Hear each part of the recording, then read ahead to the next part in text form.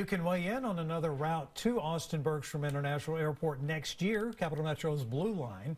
The plan is to put up the idea on a 2020 transportation bond. We looked at this back in May. Project Connect wants to make it a congestion-free route, whether it's a dedicated bus path or rail line.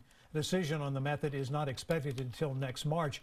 Later this month, Capital Metro will also be holding open houses regarding the proposed Orange Line corridor.